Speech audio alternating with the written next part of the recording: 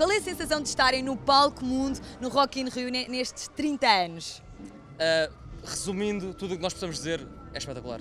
Como é que é para vocês tocar num festival? Sabemos que tem vários públicos, há um, um misto de públicos. É mais desafiante? Não é mais desafiante, acho que nós, para nós todos, todos os públicos são, são um desafio e nós queremos, não, não, não damos. Isto é como se fosse é uma batalha num bom sentido, nós temos que conquistar o público.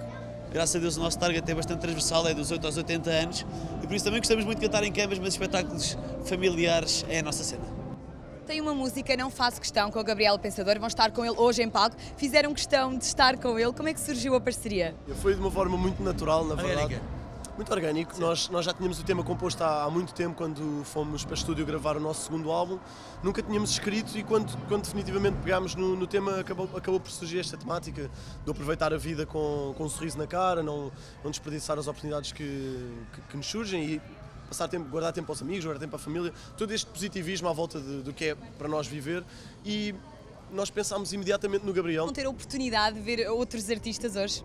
Está a ser mais difícil ver agora o que está a acontecer do, da história do Rock in Rio, porque temos estado aqui pronto, neste, neste alvoroço, mas, mas depois do concerto seguramente vamos estar uh, em modo festejo. Só Francisco, em, em que é que te inspiras? Em que é que te inspiras para umas letras que ficam no ouvido tanto de uma pessoa com 5 anos como de 50? O segredo, e não, não é só o meu a escrever, embora esse seja mais o meu departamento, é desmaterializar um sentimento. Eh, um sentimento é uma coisa muito automática que tu sentes, sentes ou não sentes. Para que é tal complicado com palavras? As coisas são o que são. Esse é que é o processo difícil, é desmaterializar um, um, um sentimento e acho que essa é a nossa grande virtude em conseguimos dizer tudo de uma maneira simples. A mensagem para os fãs, eh, digam qualquer coisa para aqueles que estão aqui hoje para vos ouvir e aqueles também que estão lá em casa e que provavelmente estão a ver na televisão o vosso concerto. Nós estamos aqui por causa das pessoas que gostam da nossa música. Pessoas que vieram, muito obrigado por terem vindo. Aos que nos estão a ver, muito obrigado por estarem a ver. Continuem a apoiar-nos, continuem a apoiar acima de tudo a música portuguesa que há.